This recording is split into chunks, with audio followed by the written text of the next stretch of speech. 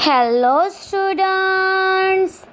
Today's learning topic is chapter number 6 combustions and flame. Okay. Next point is different types of combustions. There are three types of combustions. First, rapid rapid combustions, spontaneous combustions, explosions combustions. First, rapid combustions.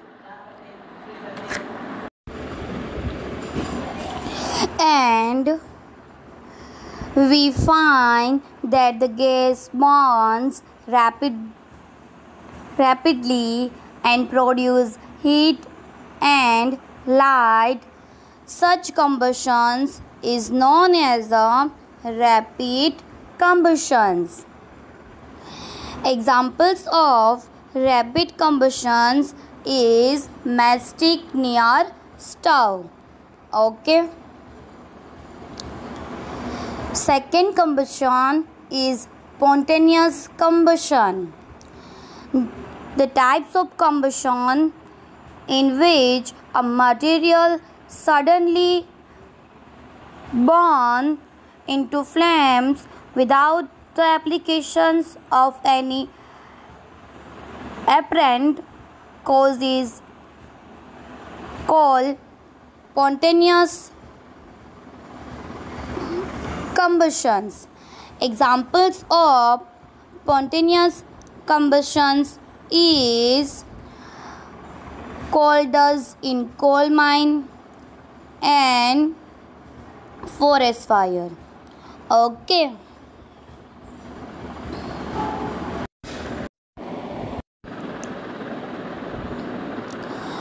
Third combustions is explosions combustions a large amount of gas formed in the reactions is lubricated. Such a reactions is called explosions combustions. This combustions is causes large amount of heat, light and sound. We generally have firework on festival days. Yes, when a crackers is ignited, a sudden reactions take place with the evolutions of heat, light and sound. Yes, now and examples of explosion is fire cracker. Okay next point is flame when something is burned a hot luminous gas emerge out of the substance. This gas is called a flame and a flame is a hot bright stream of burning gas that comes from something that is burning. Okay, now different types of flames like candle flame, kitchen stove flames. Another examples of flame is flame of kerosene lamps, candles and Bunsen burners. Okay. Next, material forming flame on burning. Record your observations and mention whether on burning the materials forms a flame or not. First, candle forms flame. Yes, Then write magnesium forms flame.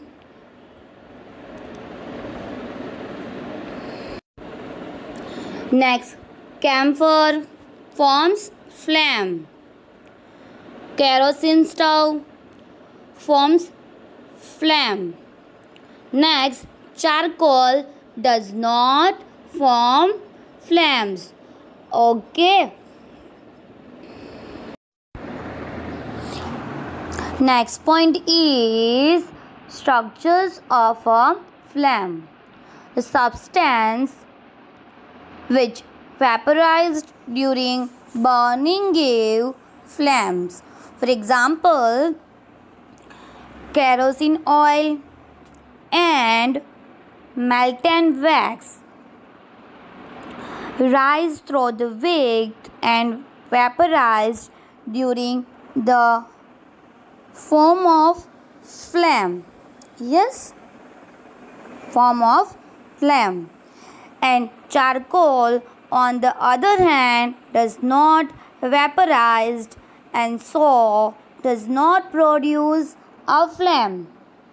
Okay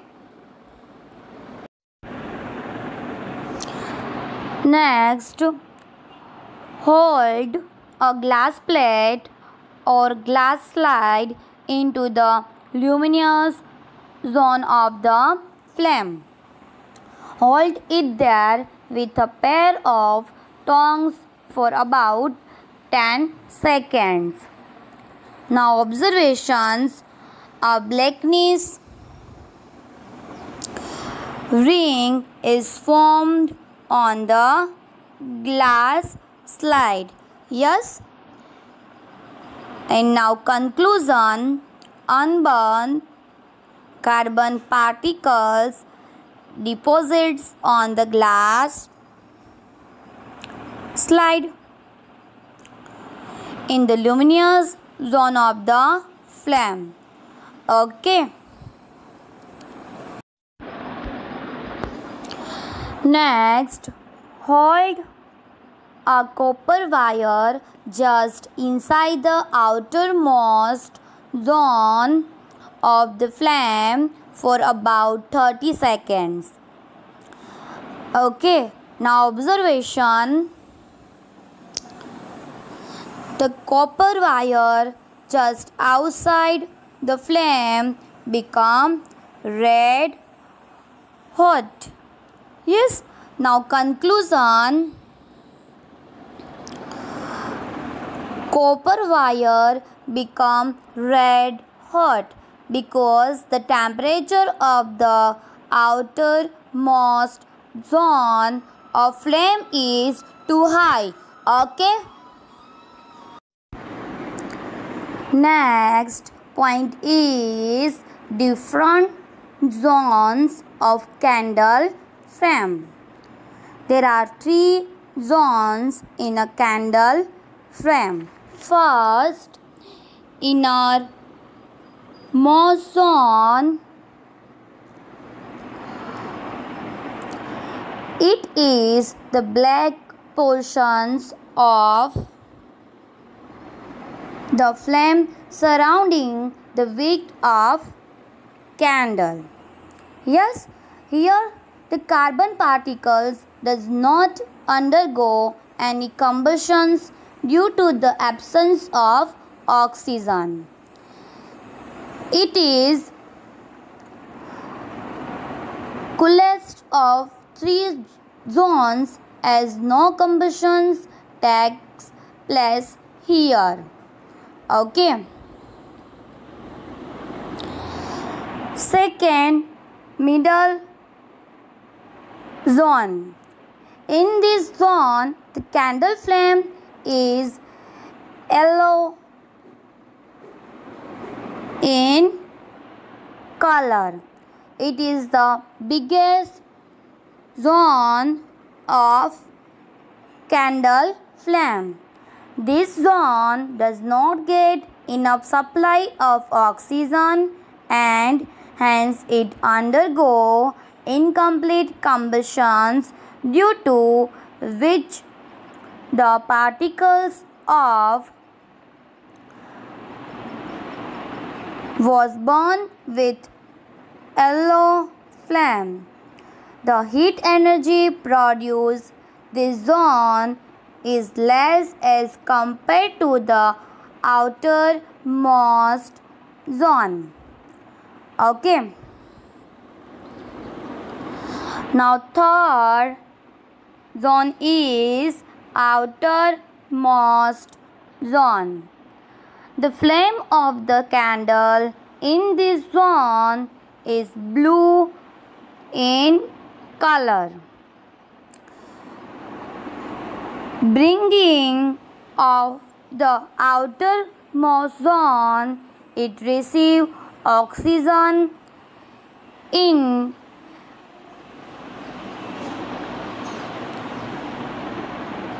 amount and hence complete combustions take place here due to which the maximum heat is generated and this zone become hottest zone in the wall flame. Okay. And innermost zone is at least hot, hot.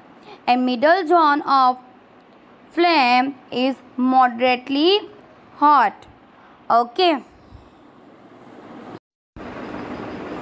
And goldsmiths blow the, the outermost zone of a flame with a metallic blowpipe for metalling gold and silver. Because very large amount of heat is available in this part which melts gold and silvers. Okay.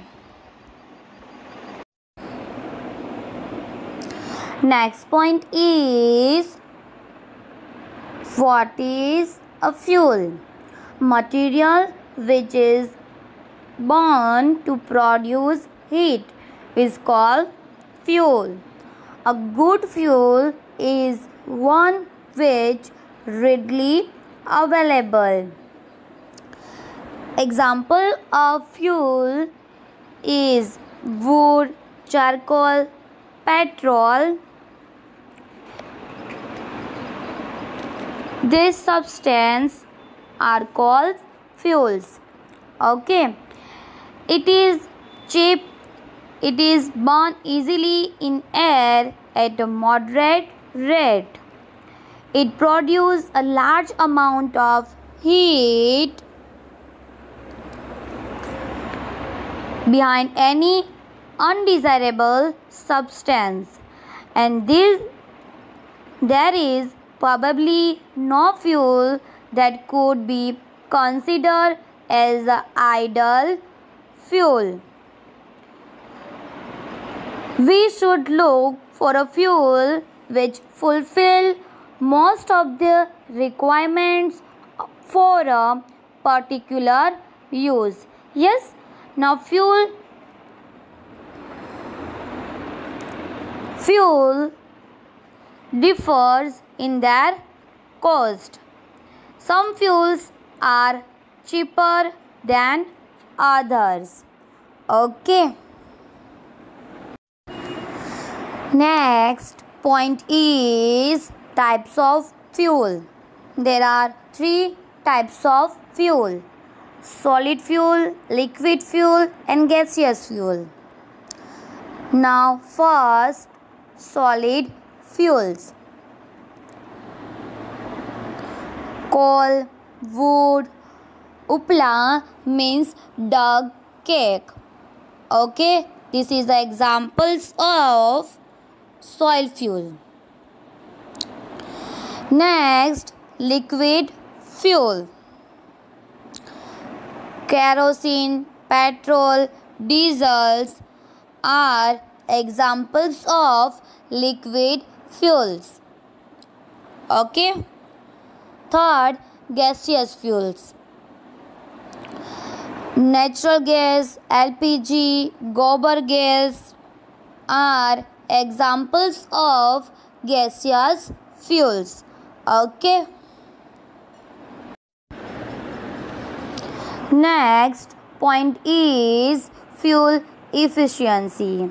The amount of heat produced by the complete combustions of 1 kg of fuel is known as a fuel efficiency or calorific value.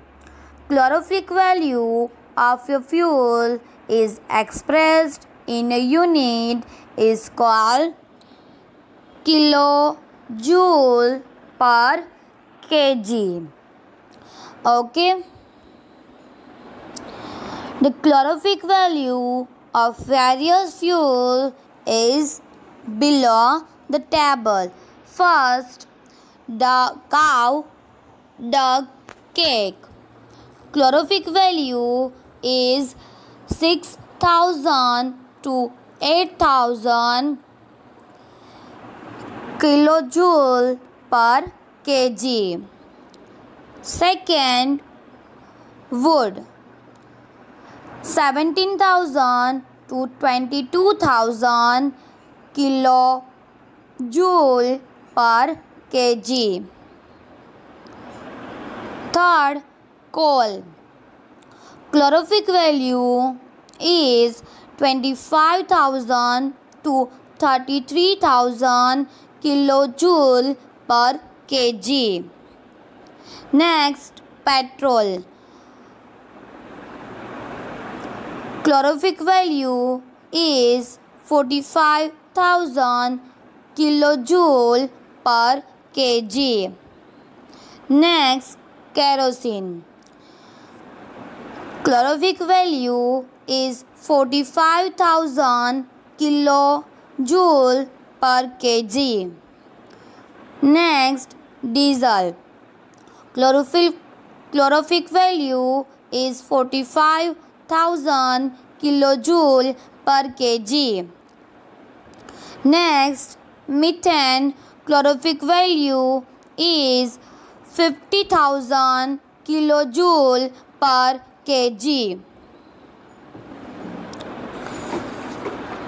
Next, CNG calorific value is 50,000 kilojoule per kg.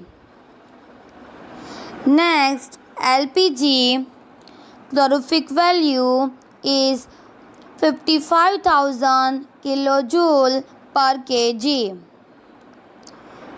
Next, biogas calorific value is 35,000 to 40,000 kilojoule per kg.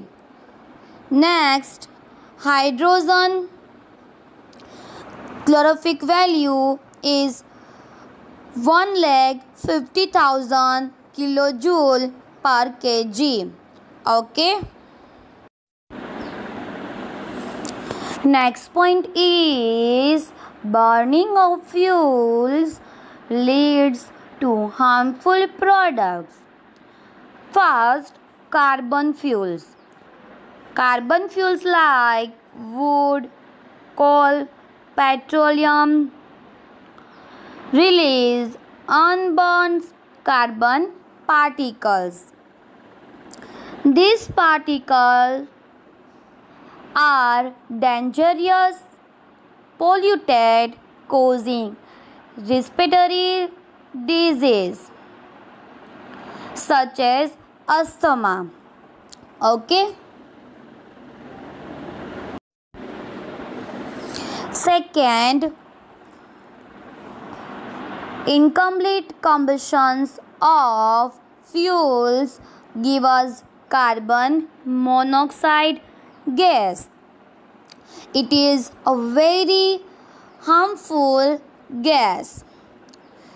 It is dangerous to burn coal in, in closed room. The carbon monoxide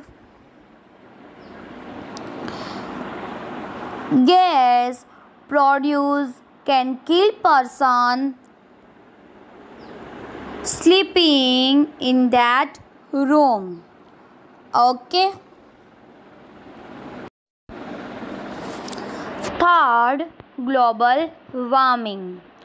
Combustions of most of fuels release carbon dioxide in environment and increase concentrations of carbon di- dioxide in air is called global warming. Okay.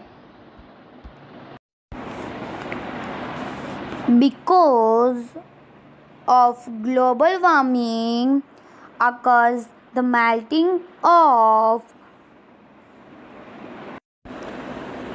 polar glacier, glaciers this lead to a rise in the sea level, causing floods in the coastal areas. Low lying coastal areas may even be permanently submerged under water. Okay. Fourth,